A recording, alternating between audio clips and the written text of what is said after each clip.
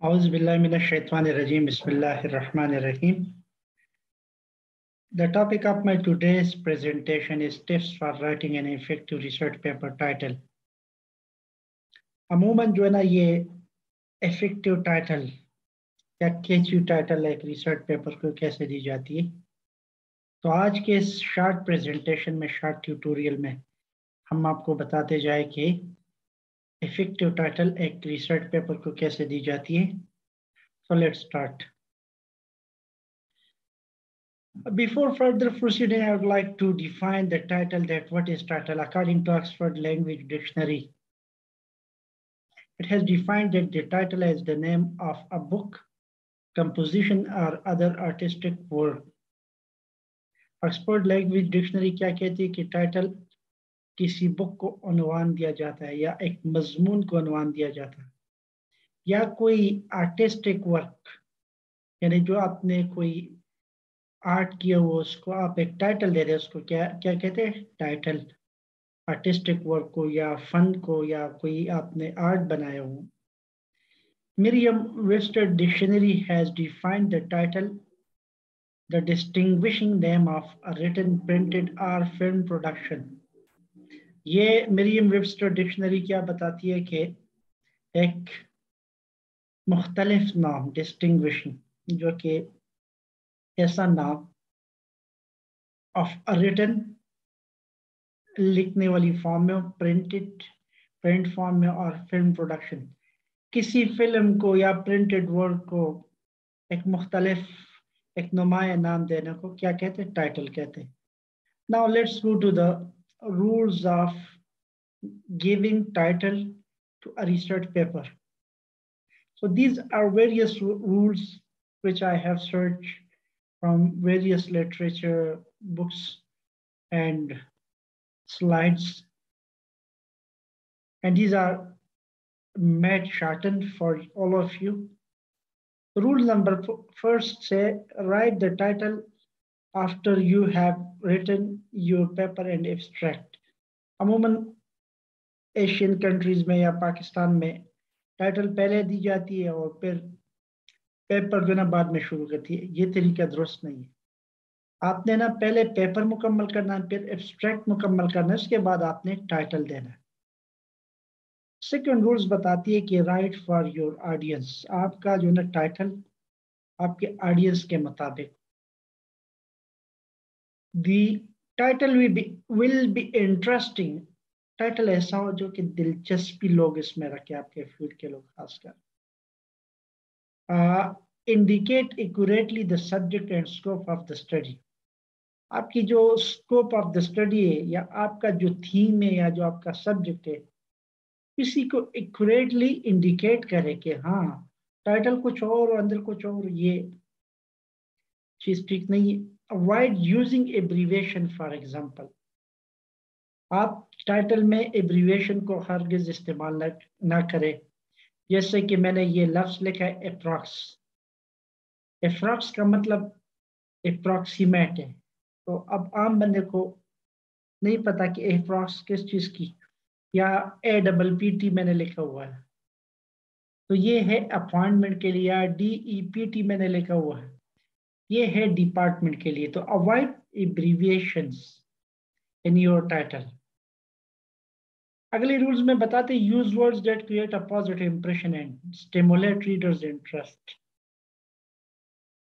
आपके टाइटल का एक पॉजिटिव इंप्रेशन जा रहा हो और लोगों की जो ना, तवज्जो को मबजूल कराए, लोगों को दिलचस्प बनाए कि ये टाइटल मैंने पढ़ना ही है।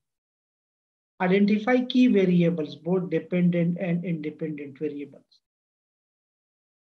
यहाँ पे ना अपने अपने वेरिएबल्स जो आपके टाइटल में उसको रिसर्च क्वेश्चन में और हाइपोथेसिस ये आपके टाइटल में डिपेंडेंट वेरिएबल भी मौजूद है और इंडिपेंडेंट वेरिएबल्स मिसाल के तौर पर factors affecting the digital reading habits of students factors और reading habits dependent and independent variable.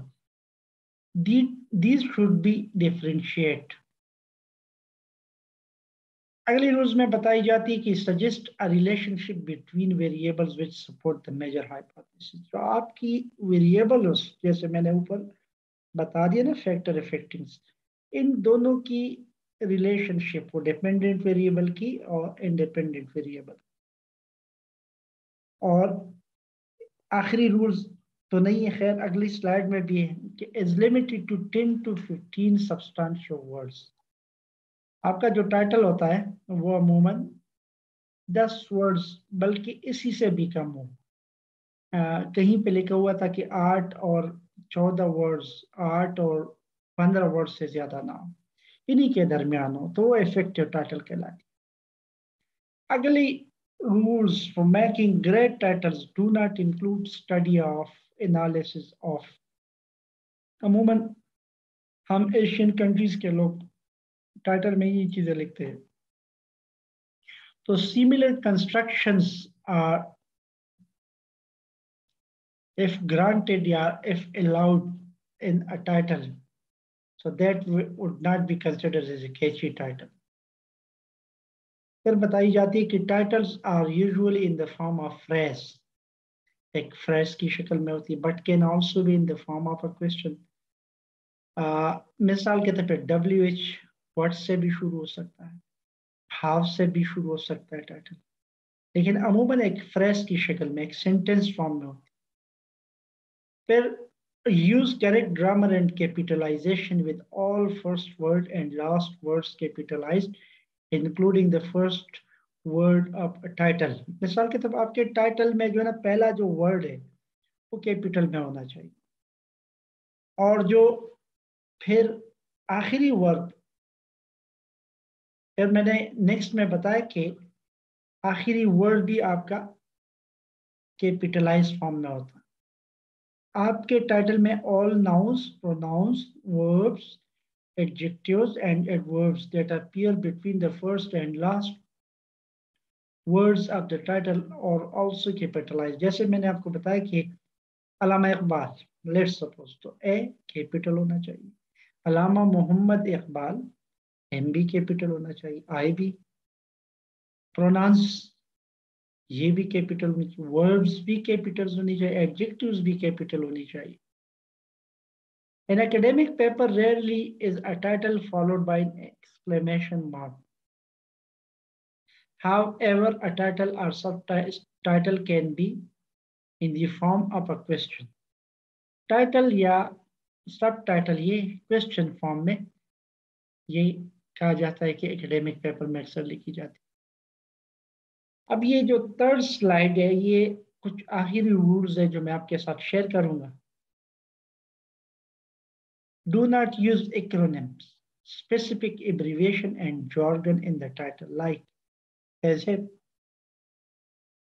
आपने एज एप नहीं लिखना है एज सुन एज पॉसिबल मैं वैसे एग्ज़ाम्पल के तौर पे बताता हूँ ताकि आपको समझ आ जाए कि इस किस्म के अल्फाज अपने टाइटल में इस्तेमाल ना किया कर।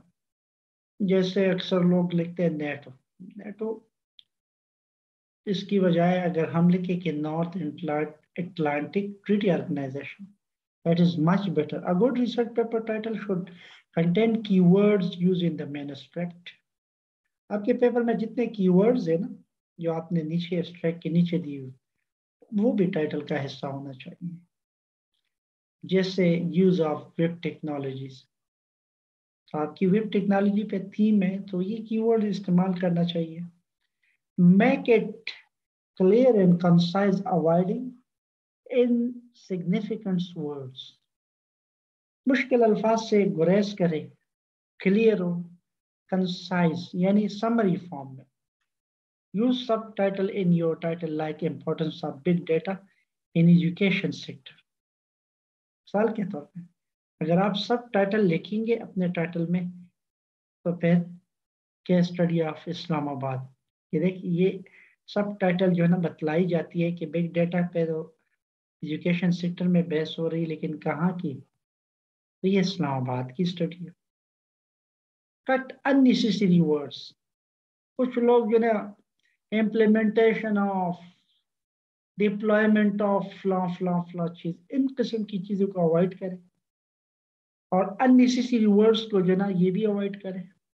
It should not be misleading or misrepresentative आपकी जो टाइटल है, ये किसी को मिसलीड ना करे और ना जो ना, वो नुमाइंदगी जो आपकी थीम है और जो आपकी पेपर इसी की ना करे तो इस किस्म के टाइटल को अवॉइड करें। Place of the duty and sample size should also be mention आपने ये स्टडी जहाँ कहीं कंडक्ट कराई है तो उसका नाम देना टाइटल में ज़रूरी होता है। लेकिन अक्सर जो कि स्कॉलर्स है या जो बड़े बड़े एडिटर है, वो कह रहे हैं, अगर आप प्लेस ना दे तो इसका मतलब है वो लोग पेपर ज़्यादा पढ़ते होते हैं। अगर आप प्लेस मेंशन करें तो फिर डेवलपिंग कंट्रीज़ के पेपर को लोग प्रेफर नहीं करते और last but not the least आपके टाइटल में तीन रिसर्च क्वेश्चन होनी चाहिए। तीन हाइपोथेसिस होनी चाहिए। इंडिपेंडेंट वेरिएबल होना चाहिए डिपेंडेंट वेरिएबल होना चाहिए।